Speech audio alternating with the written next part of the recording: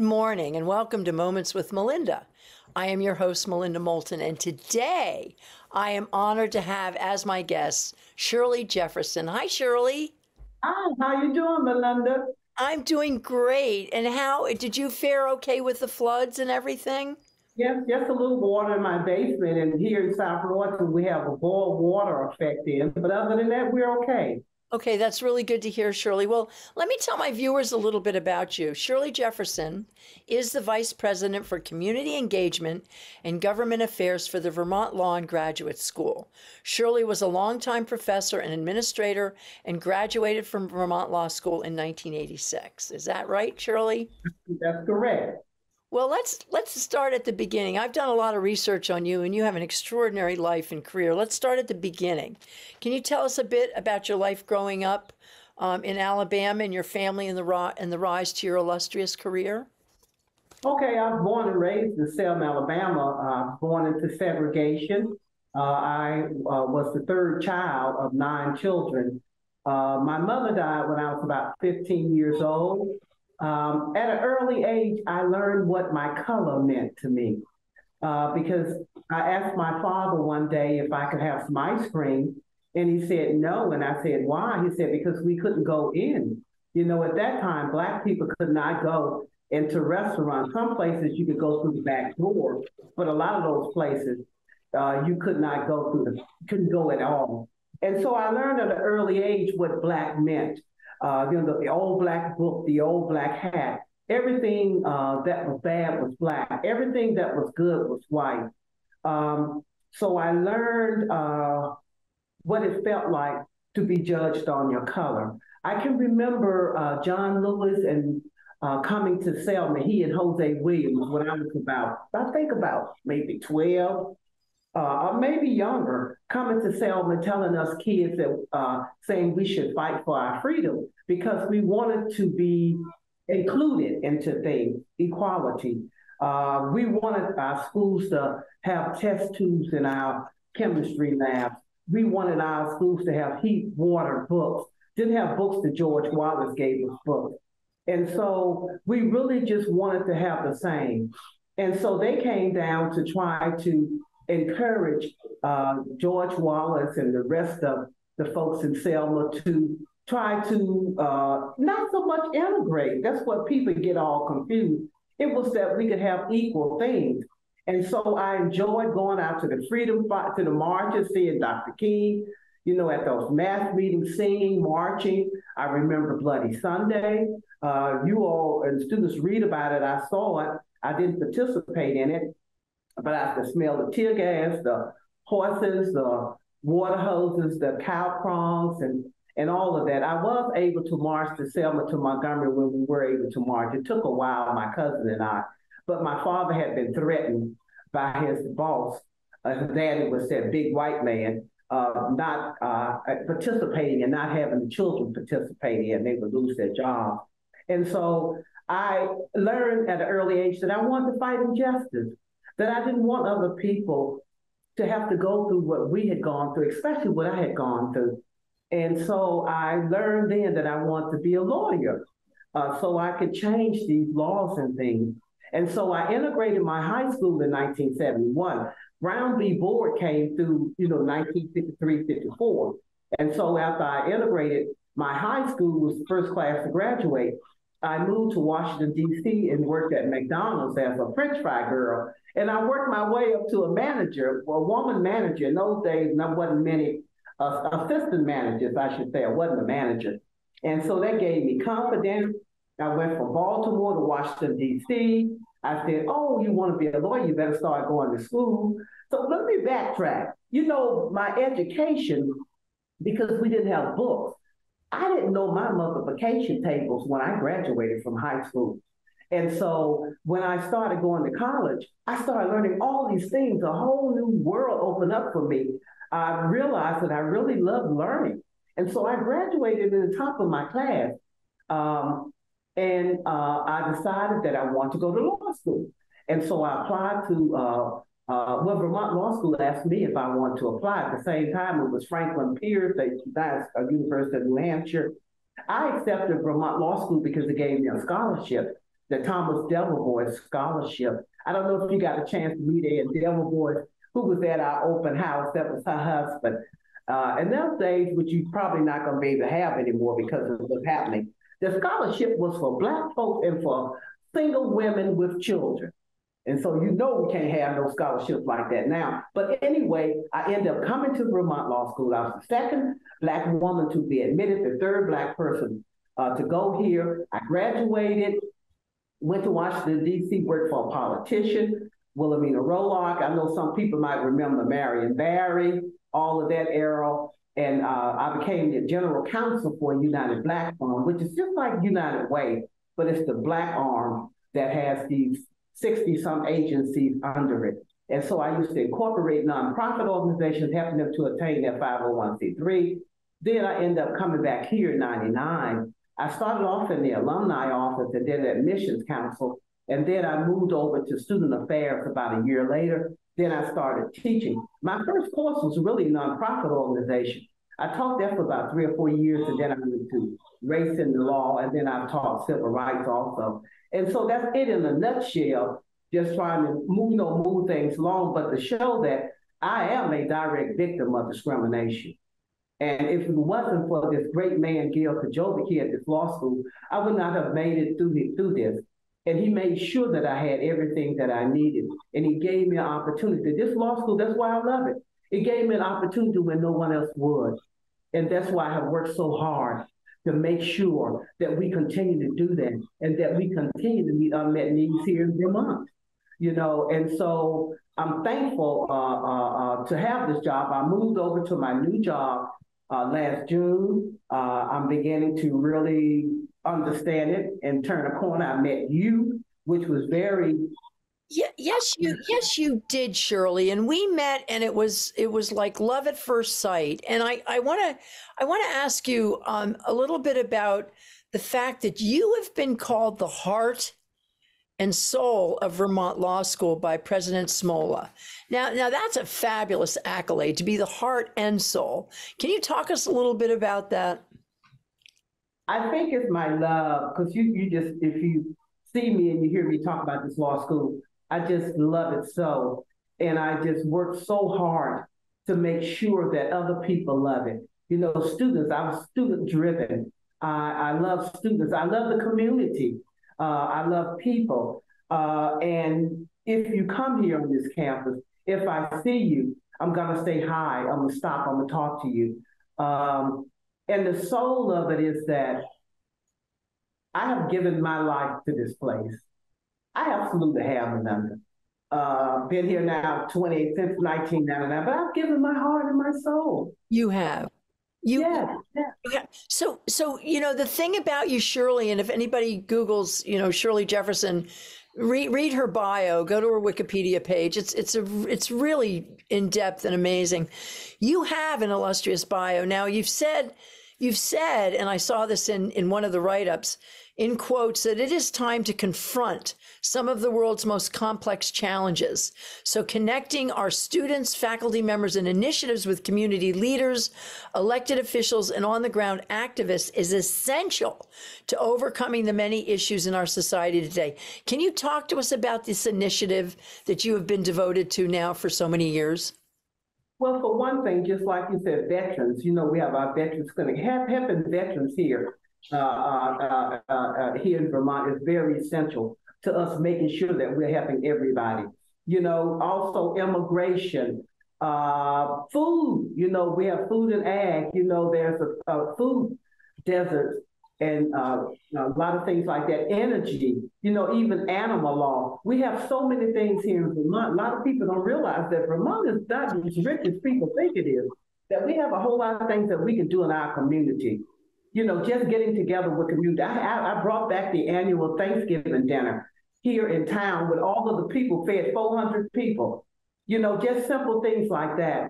But just helping. I walk up and down the street. I talk to business people. I ask them, hey, how you going? Can I help you fill out papers? I'm not licensed to practice here. I'm licensed to practice in DC. But just getting out here, trying to connect our school, connect ourselves with people. We have a program here, which Nicole Caloran runs, It's called VSEL. It works with small business owners and helping them to understand what their rights are to get get lawyers and all of that. There was quite a few agencies there who were grassroots agencies that came uh, to our open house. But my thing is to get the people to know here in this state, great state, all the things we're doing. You know, our students, we bring a lot of diversity here. A lot of these government agencies and all the like, and if there are a lot of people of color, they're from here, or our students working here, you know, making changes and trying to do uh, uh, the best that we could. But there are a lot of things that I'm trying to connect. I'm having an open house up here in Upper Valley in, in October because I want people to know what we're doing. Well, I love the one. I love the one that you had in Burlington. Now, now, now, Shirley, you are a native of Selma, Alabama, and as you said, you marched to Montgomery as a child alongside Martin Luther King and Congressman John Lewis, who is now passed. Um, you are a frequent public speaker on race relations, and you pushed for the removal of the controversial mural depicting slavery uh, from the Vermont Law School Student Center. Talk to us about about that experience and a little bit about your activism. Well, when I first came back here in 99, students told me about that mural. I believe it might have been put up since 95. And so they would bring me over to the Chase Center because that's where it was. And as I'm walking over there, they would be telling me about it. So when I saw the mural, I say mural, people I'm not pronouncing it correct because you know the southern accent and different things. I call it picture. When I saw it, yeah, I, hey, I'm, I'm, I'm real. When I saw it, I, I, I was just listening to what they had to say. And they was like, look at us. We look like, we look crazy. They got big lips. We got big arms. They're making fun of us. Oh, we don't like this, blah, blah, blah. And so I was like, oh, and then when I became the associate dean for student affairs, and students would take me up there and I would say to them, look, don't worry about that. You didn't come here to fight for that. Because I had been, when I took this job, this campus had been split on race. There had been something dealing with uh, black students, white students had something to do with the newspaper, and a faculty member saying uh, things about a black student. So the school had been sued, had been split. My thing was that I wanted to try to pull us all together. I held hearings. We had diversity hearings. And so we, we compromised one time was to put uh, uh, what it depicted. What it was that Sam Kerson, he was trying to say he was trying to depict the Underground Railroad here in Vermont. And so we put signage to say what each panel was, because I think it's about four or five panels. And so that went for a little bit, but I had a couple of students, two students uh, Jameson and, and, and April, who was just not going to give up. And but they, I said, they listened to me. I said, hey, you didn't come here to fight for that. We're to split the campus. We're to have a big mess on here. Why don't you get your education? Then you can come back out here and you can fight. Let's do that. And so, but after when George Floyd was murdered, uh, I, I, I was like, oh my God. Oh, uh, the, that picture got to go now. And You know what I think, uh, uh, Belinda, was that I was ready to fight.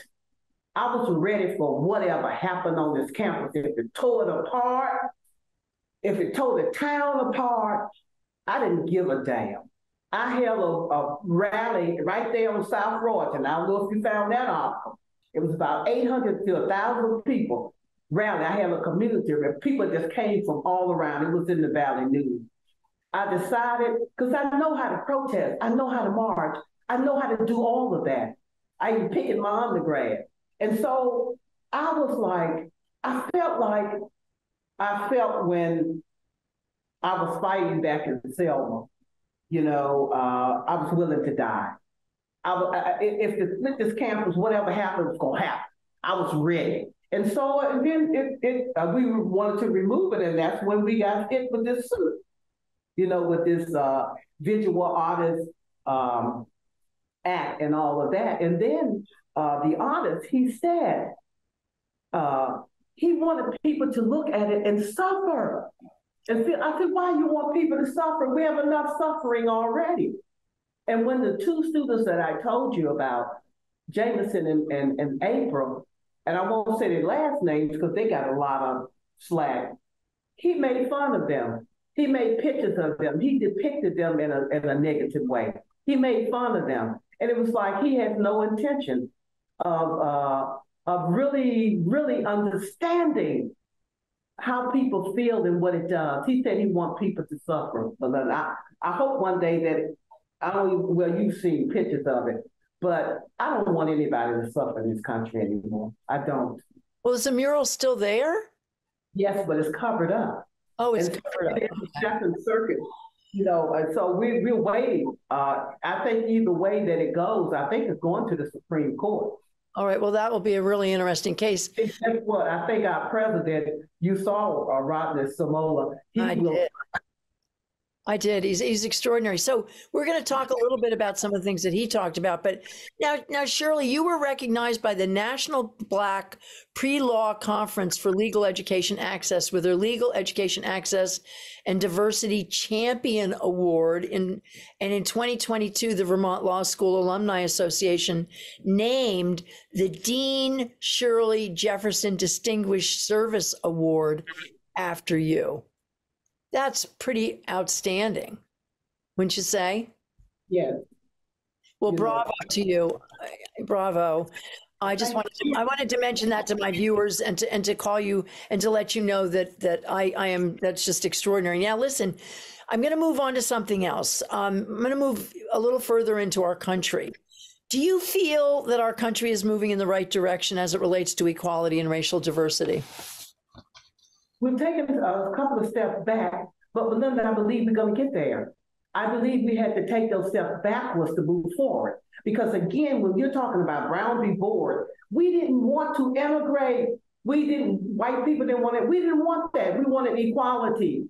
We just want to be equal. That's the same thing today. But that was never happened because of the courts. It wasn't the people. It's going to take people like you and I and everybody else. We're going to have to make the change. We can't be waiting on courts. We can't be waiting on the senators. We can't, it's people. I believe in the power of people. It's us.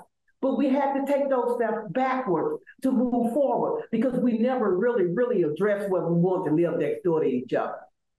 We only decided that we want to go to the bathroom next to each other. Yeah. Churches and neighborhoods are still segregated. We have to decide. The courts can't do it. So, so how did you feel when the Supreme Court recently shot down affirmative action?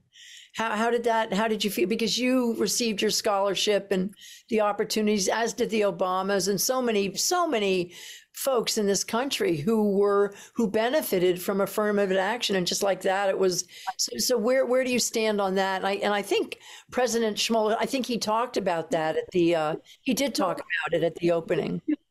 Still, students can still write about their whatever they about them.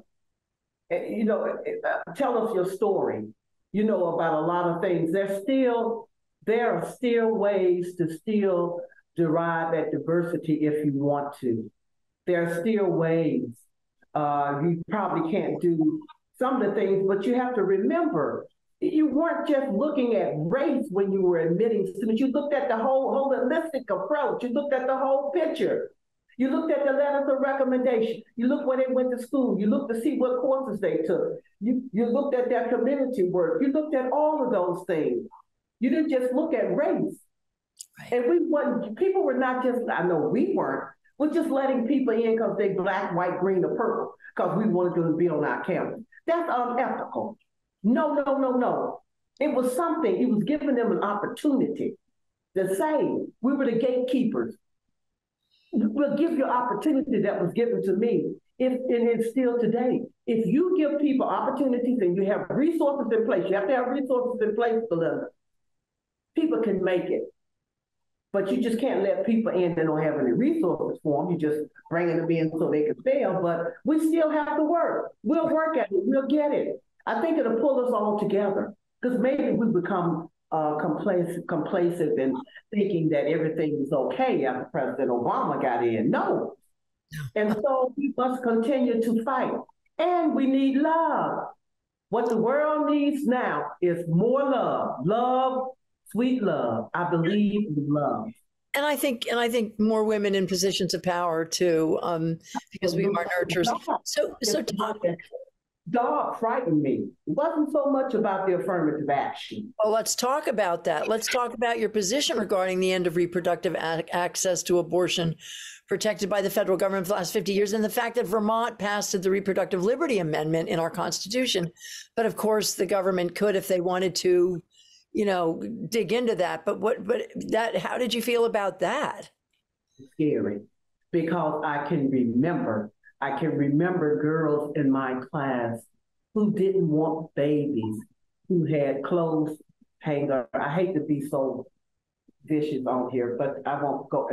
I, no, you go. You this is this is no. You oh, say it. Yep. As abortion, who died and who bled to death at school. Because I'm telling you, okay, affirmative action, another thing, but this is your body. And if you don't want a, a baby right now, you think it's, it's psychological. You, you, you feel, and some of those girls have said, I'd rather die than have a baby. And so that's dangerous. If that, that that's what's frightening to me. So, Shirley, why is it that places of education, I mean, certainly during the 60s and the 60s revolution, we had colleges all rise up and, fight for these things. Why is it that places of education are not taking political stands against the backward movement being perpetrated against our society? I mean, we have politicians striking down the right to read books, gender health care, women's reproductive rights, racial equality, climate change, when most Americans are strong supporters. Why aren't colleges willing to step out on the limb and fight for these things? I think that people are afraid.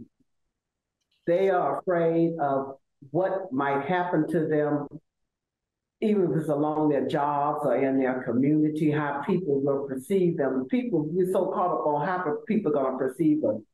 So we are afraid. We say something in public and we do something different in our own private places. And I think a lot of this too is due to ignorance. They don't understand the history. That's why my race and law class we talk about history. They don't understand the history of these things. Most of those those affirmative action cases, when they first started out, they were trying to remedy what had happened in the past.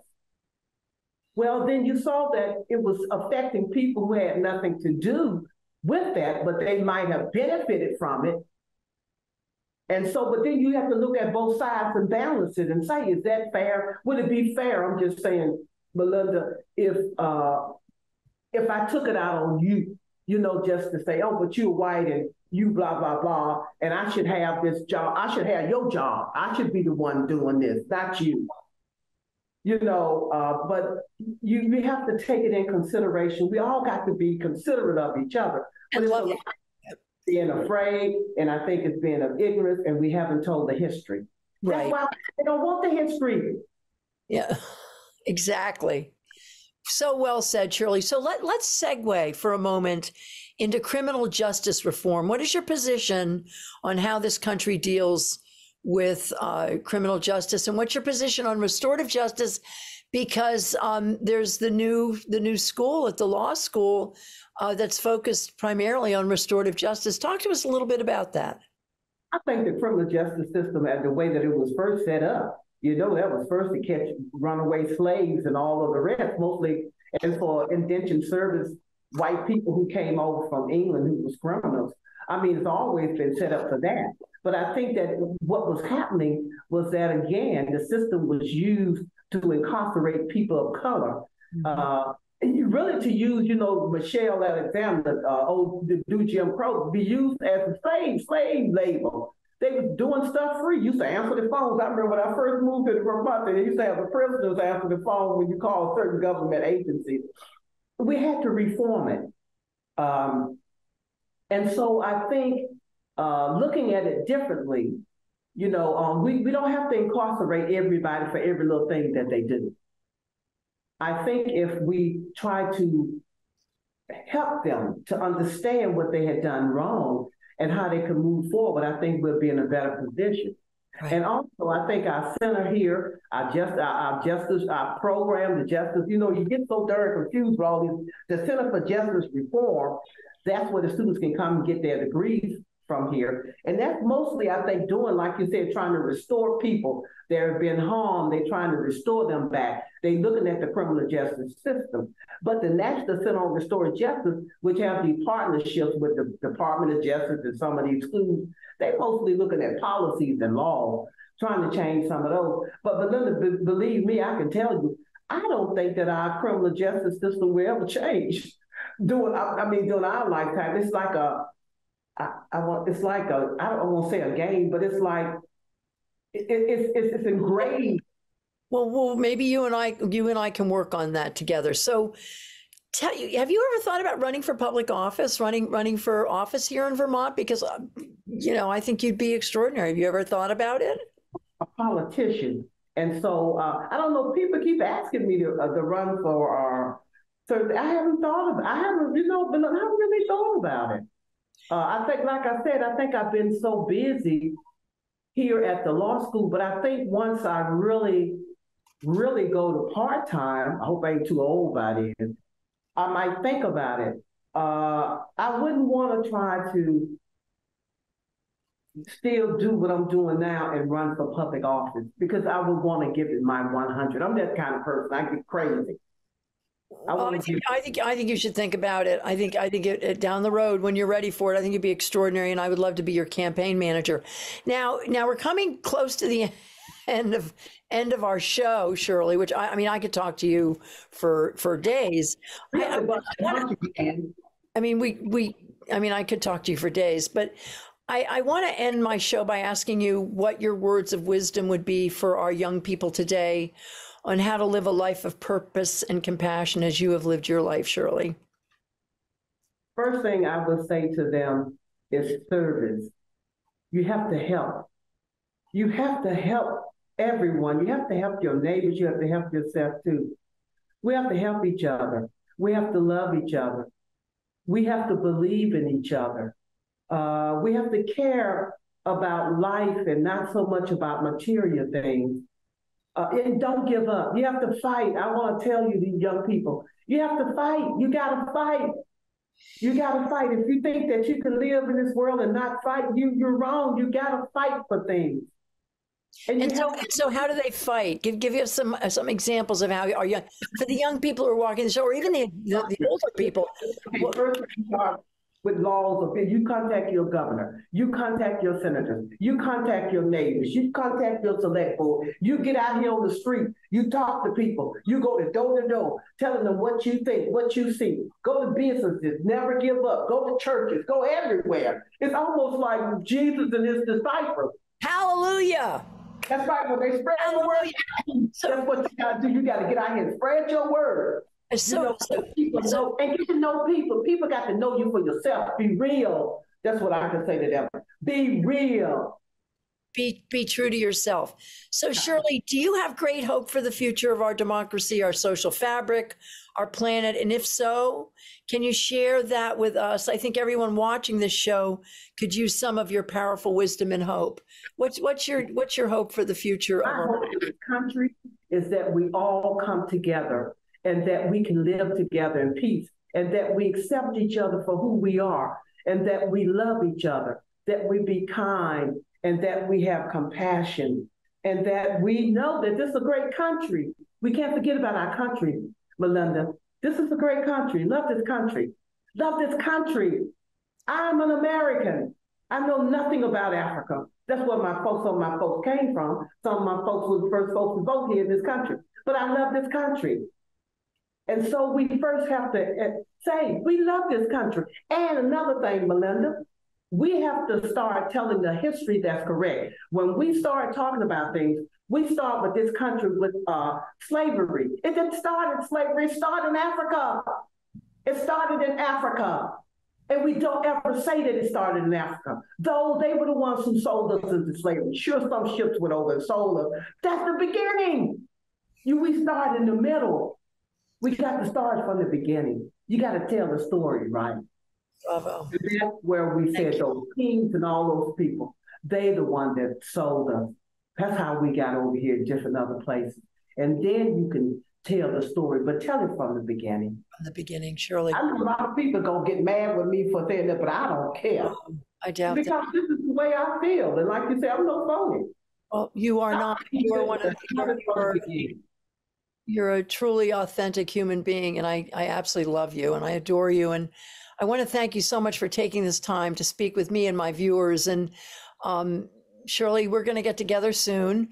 Um, I'd love to come down in October to the to the to the open house. I just loved my time spending with you. So, and to my viewers, thank you so much for tuning in uh, and meeting my guest Shirley Jefferson. And to all of you out there, I want you to be safe, and I hope that you're all doing okay during this flooding. And um, we'll get through this. Vermont strong, Vermont strong.